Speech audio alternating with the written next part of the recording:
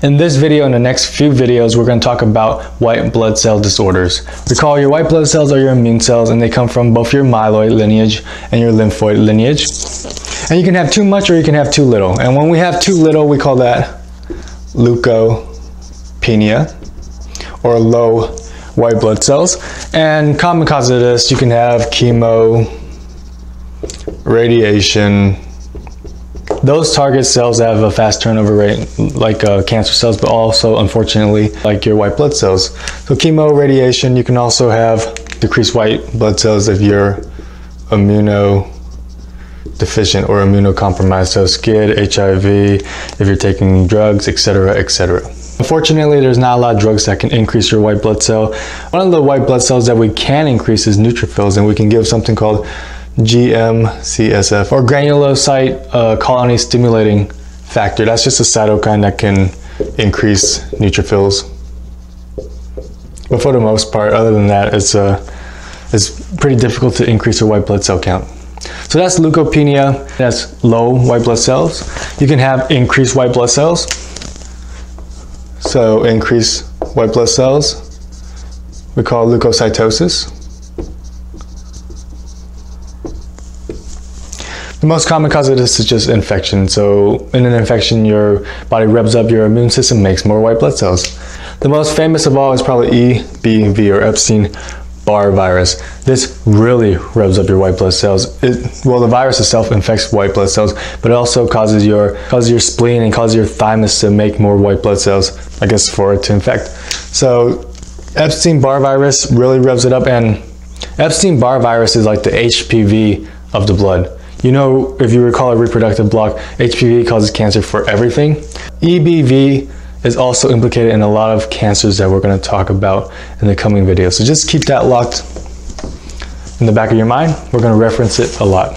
Speaking of cancers of the blood, since we're on the topic of increased white blood cells, let's talk about white blood cell cancers. So white blood cell neoplasia, basically a white blood cell that's gone haywire and you're making too much of it. White blood cell neoplasias. These are broken up into leukemias and lymphomas. What's the difference? Well, leukemias are a ton of um, malformed and proliferative white blood cells, mainly in your blood and your bone marrow. So emia, as in blood. Lymphoma is, gets its name because it's found more in your lymph nodes and tissues and organs. That's the OMA part of it. Now there's some overlap. They're not they're not very segregated. So you're going to see some leukemias in your lymph nodes. You're going to see some lymphomas in your blood. So this is a classical definition, but again, there, again, there's some overlap.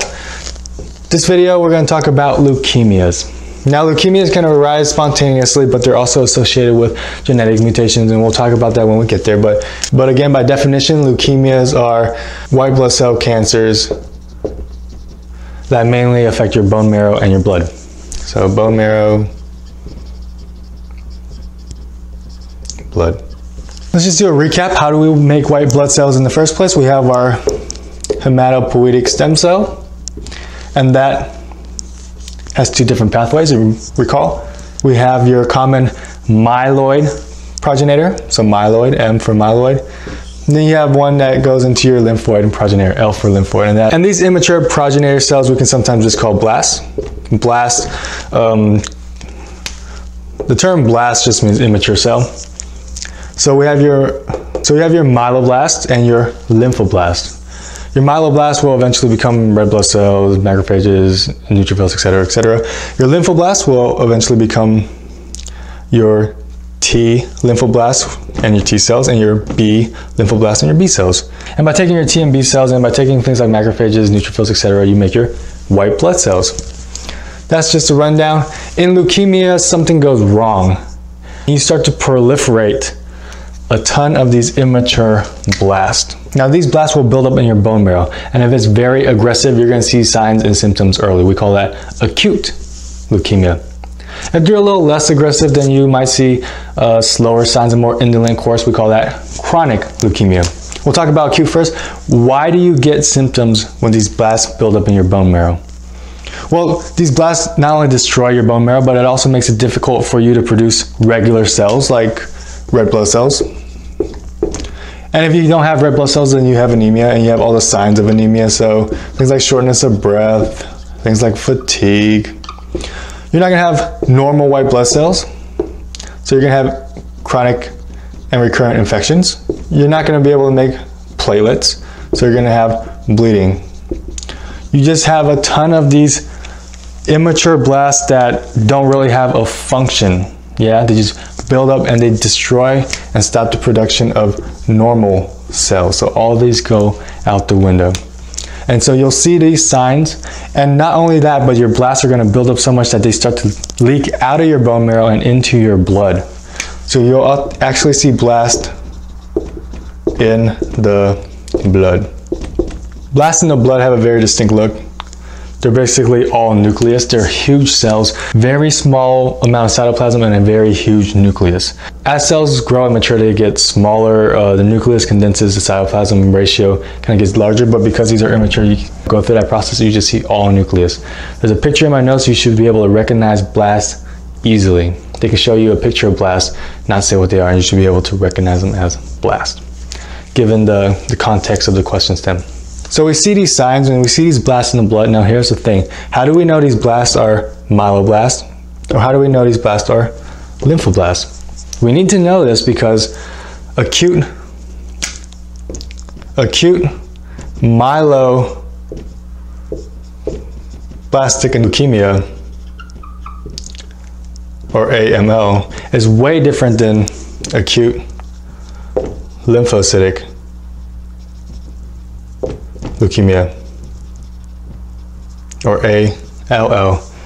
These two are different, they have different treatments, so we have to make sure we know where the blast is coming from, whether it's a myeloblast or a lymphoblast. Fortunately for us, for a lymphoblast, it has something called terminal deoxynucleotide transferase or TDT, and, and that is a DNA polymerase found only on lympho blast, not on mature lymphocytes, not on myeloblasts, nothing else, but lymphoblast. Now myeloblast, on the other hand, has an enzyme called myeloperoxidase, or MPO. Myeloperoxidase, well, with a name like myeloperoxidase, it better be specific to myeloblast, and it is. Now it gets a little bit more tricky because we said that lymphoblasts can go on to make T lymphoblast and um, T acute lymphoblastic leukemia or T-ALL. Or lymphoblast can go the B route and make B lymphoblast or B acute lymphocytic leukemia or B-ALL. So B-ALL. And again, these are two very different things. How do you think we're gonna tell them apart? We're gonna look for markers. You got that right. That's what that's the name of the game for this video. So we're gonna look for markers that are unique to T cells and markers that are unique to B cells. The markers that are unique to T cells, you can already kind of surmise these are going to be your CD markers. So your CD2, 3, 4, 8, seen in your T cells like your helper T cells, your cytoplastic T cells. So CD, I'll just write 2 to 8. That's the lab finding. Uh, a physical finding of T-ALL you should know is that it presents with a mediastinal mass. That mediastinal mass is basically a thymic tumor. Why do they get a thymic tumor? Do you remember where T cells mature? In your thymus. So I rest my case. So they get a mediastinal mass or a thymic tumor. I'll just write mediastinal, I'm running out of room, mass. From the, all those T cells essentially. Let's move on to B-ALL. B-ALL these also have CD markers, but they're not going to be 2, 4, 8. Instead, they're going to be things like 10, 19, and 20. Also very important, I'm going to write up here. We said that some of these cancers arise spontaneously and some are related to genetic mutations. Well, B-ALL is one of them that's related to genetic mutations. You can have a mutation in chromosomes 12 and 21. There's a translocation of 12 and 21. And if you see that, is actually a good prognosis.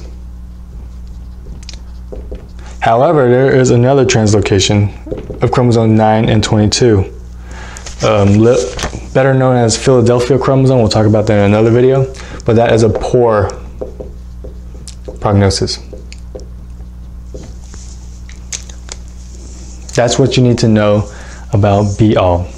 So know what's good prognosis, poor prognosis, and then know the markers 10, 19, 20.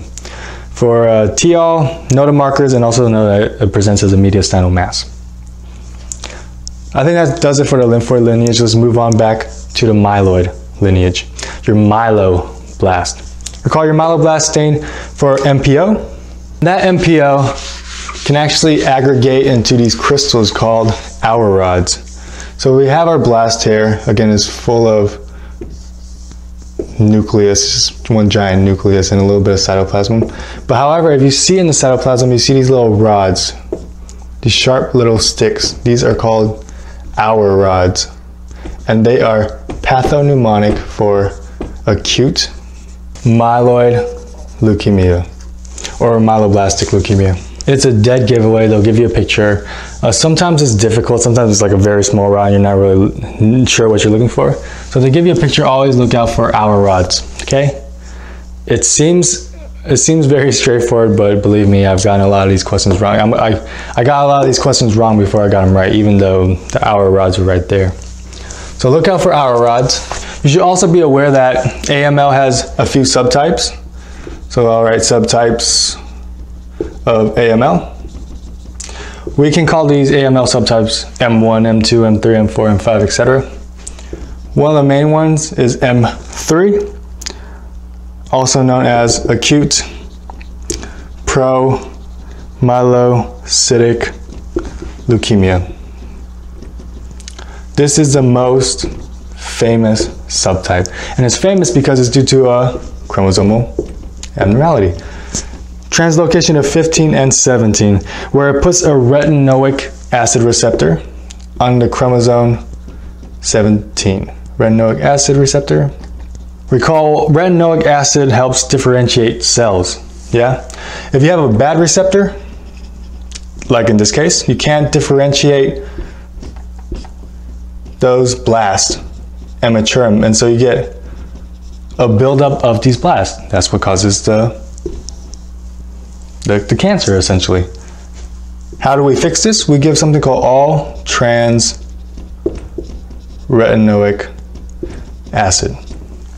That is essentially a type of vitamin A, and that binds the receptor, binds receptor, activates it, and then you mature the cells. That's all trans retinoic acid.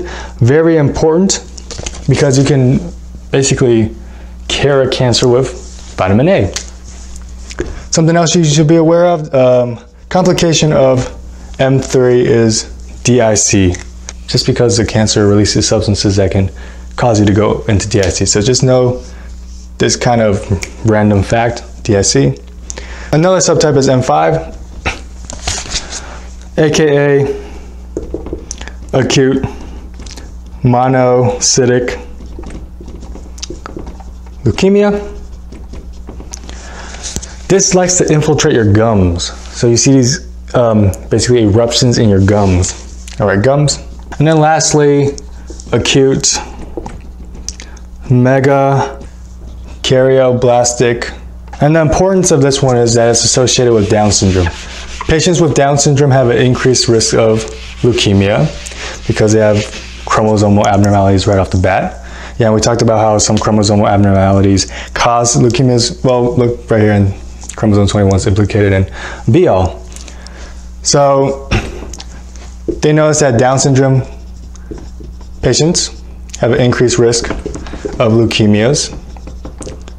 And in particular, when they're under five years old, they get AML, this subtype, acute megakaryoblast anemia. Once they're over five, they get ALL, kind of like what we just talked about. Now that is your acute leukemias. In the next video, we're gonna talk about chronic leukemias. But until then, hope you enjoyed the video. See you next time.